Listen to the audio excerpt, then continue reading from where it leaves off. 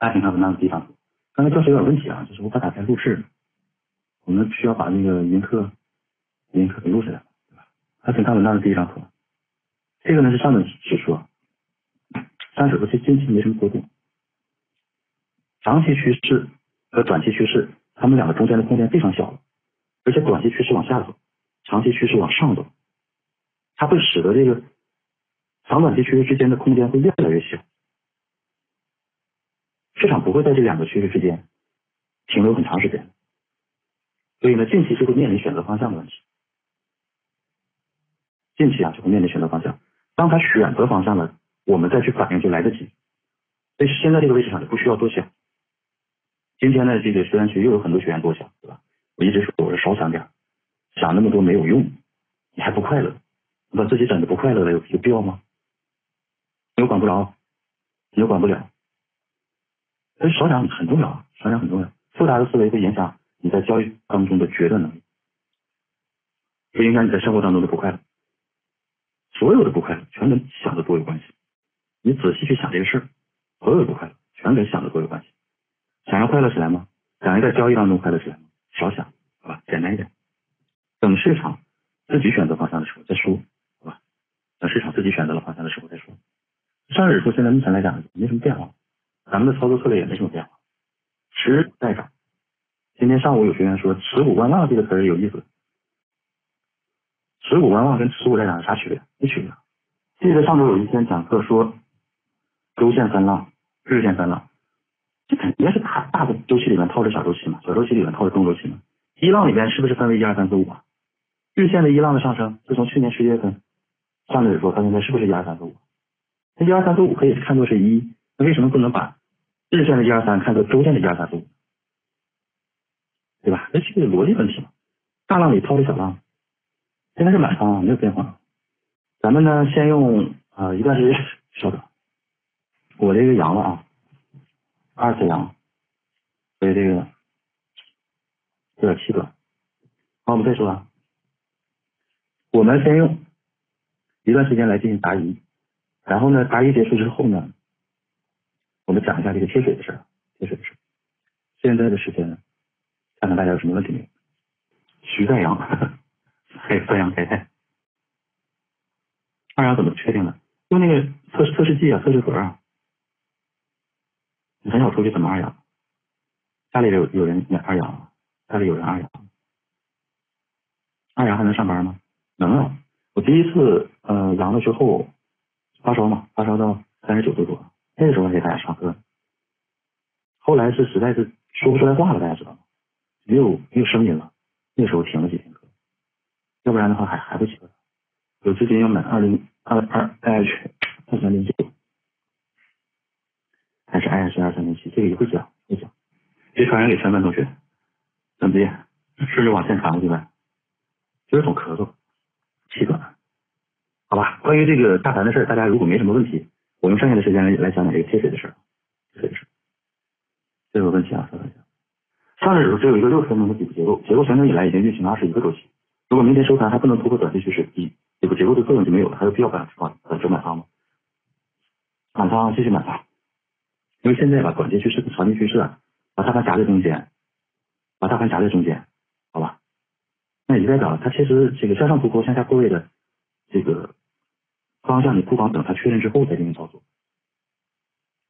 结构的作用是，假如说没了，假如说结构的作用没了，但是呢？它不是说你需要面临的选择的时候，现在目前来讲呢，就是就等待这个两个趋势嘛。这这本本节课之前就说了，等待两个趋势嘛，不是说这个到二十四个周期没有突破趋势，结构的作用没了，我就必须得出来，没有这个没有这个说法，只是可以考虑出来，不是必须要出来。还有什么问题吗？对于对于大盘的，可以戴着口罩听课，不怕传染。对，你要是怕传染，我从网网线上这个把那个二次阳传染给你啊。你可以带上 N 九五听课。好，我们讲贴水，不想听了就就可以就是对吧？就可以那啥了，就下课了。那贴水，第一张图，我这样列出来，大家可能看起来会简单一点啊。第一个，三六五零现在现价的收盘价格是二六五八点，今天收盘两千六百五十八点，二六五八点啊。今天收盘价格二六五八点。然后呢，四月份二三零六，呃，下月份合约啊，六月份合约，七月份合约，然后九月份合约，十二月份合约。呃，股指期货呢，它分为四个月，当月，但是这个五月份已经结束了嘛，当月就是六月份，下月就是七月份，然后呢是呃季月，季度的月份，九月份，夏季月十二月。那比方说到了下个月呢，就是现在就是六七九十二，到下个月呢就是七八九十二，然后再下个月呢就是八九十二零三，因为这个下个月呢就是季月了，所以呢就是季月和夏季月，它就对吧？再往后推了，这个我们不用管啊，就是每个月到期的时间啊，到期的时间分为四个月份，月份合约，他们每个月到期的时间是第三个星期五，第三个星期五。每个月的第三个星期五啊，就是这个合约的到期时间，它不是到这个月的月底。注意啊，股指期货不是到这个月的月底。所以你像七月份，七月份到期的时间呢是七月份的第三个周五，到现在来讲应该不到两个月的时间，不到两个月的时间。看一下啊，七月份第三个周五是多少号？稍等一下，正好是二十二啊，正好是两个月啊，正好是两个月的时间啊。好，七月份呢是二十二号到期，今天呢也是二十二号，给两个月的时间。两个月的时间，你看这个七月份呢，它的呃价格呢是二六幺四点。目前，目前啊，沪指期货的二六五八点，那么幺四五八点幺四呢是差不多四十四个点，四十四个点呢二十六个点，呃，贴水四十四个点啊，贴水四十四个点，四十四个点多少？四十四除以二十六吧，让我算一下啊，一点六九，呃，我们算一点七啊，一点七，一点六九吧，它是两个月啊，两个月贴水一点六九。那么一年的年化呢，就是再乘以六，一六得六，六六三十六，差不多百分之十啊，百分之十，百分之十点一五啊，百分之十点一五就能得出来所以这个贴水算比较大的，这个贴水算比较大的。但是这个贴水跟那个前面我们在讲那个 IC 的贴水的时候啊，呃，哪年来着？二一年是吧？二一年三月份吧，我讲那个 IC 贴水的时候还不同。IC 贴水呢，它的当月、下月、季月和夏季月，它们成比例的放大关系。而最大的贴水就是最远的那个月，然后呢是临近的这个月，就是这个夏季月，所以呢那个贴水是比较正常的贴水。这个贴水今天这个贴水啊，只是在七月份的合约里展现出了百分之十的贴水的年化收益率。七月份的合约里啊，其他的月份都不行。你看这个六月份也有贴水，六月份贴水只有几个点，对吧？十三个点。然后呢，你看这个九月份，九月份是也是二六幺四，十二月份二六幺六，二六二六，反而十二月份的贴水比九月份的贴水还要低。那么，如果你选择做贴水的话，那这四个月份你应该选择做哪一个？很简单嘛，贴水的收益率最高的就是七月份，对吧？七月份，七月份如果大盘不涨不跌的话，一手你你差不多能赚四十四个点乘以三百，呃，一万三千二，对吧？一万三千二，你白赚，指数不涨不跌，你白赚一万三千二，能理解的打一。如果指数不涨不跌的话，白赚一手白赚一万三千二，那这个是很划算的。我说这个。年化收益率百分之十的金融产品目前也很少了，这个没有了。不涨不跌的话，来看这个。所以如果要现在买的话，刚才那学员问是买二二三零九还是买二三零七啊？如果从今天的角度来讲，肯定买二三零七嘛。两个月赚赚一个四十四点贴水，哎，和那个五个月赚一个四四四四十四个点的贴水，也不是五十五个月是吧？四四个月，四个月赚那个呃四十四个点的贴水，那还有两个两个月的时间价值，还有两个月的时间价值。对，第一个这是选择问题啊，这是选择问题。所以它也很奇怪，你看今天指数是上涨的，大部分的这个呃合约呢都是涨的跟指数差不多是吧？零点七、零点七四、零点七八，那这个呢跌了零点四，你看没有？所以这个贴水呢，它它不太常规啊，不像上次我们做 IC，我们上次做 IC 那个贴水呢，就是就是常规贴水，常规贴水呢就是近期的贴水越少，下个月的呢可能贴水增增大，那么下季个月呢，下季月呢就是季月份呢就是这个贴水更大，下季月呢就贴水最大，那这个成比例的就常规贴水，那这个贴水不不是常规贴水。所以它只针对于二三零七，那么为什么会出现这种情况？就是多空双方对于七月份到期的那个时间指数的看法问题，好吧？这是交易得出来的博弈的行为，好吧？而且现在第一个交易日，第一个交易日呢，它可能嗯定价也好，这个嗯还不够不够那么合理。然后呢，这个有学员提出这个关于这个分红的这个事儿，分红这个事儿对股指期货的结尾是有影响，但不会影响这么大，对呀，不会影响这么大，还有两个月的时间呢。但里面确实是有啊，有这个分红因素的影响，但不会影响这么大。所以如果想做贴水的话呢，很明显就是应该做二三零七月份啊，做二三零七月份。然后看这张图啊，这个这个有意思啊，打开咱们的上方有一个学员区的这个功能，里边有一个股指基差，对呀，股指基差，这功能是我做的，别的软件里没有，我做的啊，我做的。告诉你现在基差是四十四个点，这个呢是九月份合约啊，九月份合约二三零九 A H 二三零九九月份合约。大家注意的一点是，就是当价格往下走的时候，基差往上走，就价格是往下走的，但基差往上走，这个地方的点都是不错的点。不错的低点，就一个往上一个往下，好吧？看这儿啊，就往下走，这个地方往上走，那这个地方的低点是不错的点，能理解吗？你你去观察历史，历史上也是这样的，历史上也是这样。随着时间的临近，你看这个九月份合约，随着时间的不断往后推移，按理说基差一是应该减少的，对吧？但是它基差开始增大了，放大了，那就代表基差的这个这个这个价格对于指数的影响会将来会加大。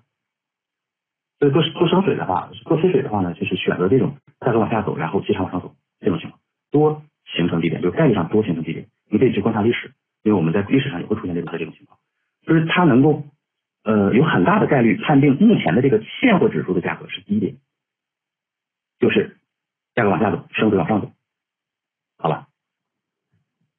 能理解了吧？就这个功能有点意思啊，我怕这个大家看不懂是吧？后面呢，我还告诉大家这是升水还是贴水，我说给我写上这个文字，要不然这个指标大家可能也不会用，我们就把直接把基差给它算出来啊，算出来，有意思。对，因为当时我这个做基差，我研究基差的时候，研究贴水的时候，就让我的团队就把这个功能给开发出来了，这是自己有团队的好处嘛，想做什么就做什么嘛，是吧？啊，在那个学员学学员区里啊，就是那个咱们软件上方有一个投资学院，投资学院里面有一个功能叫做股指基差。股指基差，好吧，这个我们特有的功能啊。以前我给你讲过，很多的功能我都没跟大家讲。这些功能呢，就今天咱们谈到这儿了嘛。这七月份的合约很不正常，很不正常。所以我们既然谈到这儿呢，就给大家讲一下这个功能。这功能有一个好处，就是判定低点有一个小方法判定低点，就是一个往下走，一个往上走的时候，基差不断的向上，但是这个价格持续的下跌，但基差持续向上的时候，通常是现货指数的低点，现货指数的低点。那为什么会是现货指数的低点？大家想过没有？就是价格往下走的时候，我们在这个位置上做多，或者是在这个位置上做多，位置又低，贴水又大，那做多的意愿就强，做多的意愿越强，注意啊，位置又低，贴水又大，做多的意愿强，自然它就会形成低点，能理解吧？就是假如说我们做想想去做多股指期货，那肯定是选择的低位嘛，刚好这个低位的时候呢，升贴水又多，就低上加低嘛。所以呢，这个地方呢就容易形成这个市场的低点，好吧？只不过呢，就它它只是一个方向的问题啊，就无法解决定量问题。定量问题你还得找序列的低九啊这种解决定点问题。没有开通股指期货，明天买来得及吗？来不及。股指期货你想做的话，先得开户吧，开会得考试吧，考试你还得过去吧，过去之后还得做五天的交易吧，做五手期货的交易吧，做完五手期货的交易再存五十万吧。再存五十万之后，再做才能开通股指期货的交易吧？一肯定来不及，对吧？最快最快也两周，两周的时间才能开户，是吧？开户。现在买一手需要多少钱？这个不一样啊，I H 差不多九万多吧，刚才我们讲的上证五零的九万多，I F 要贵一点。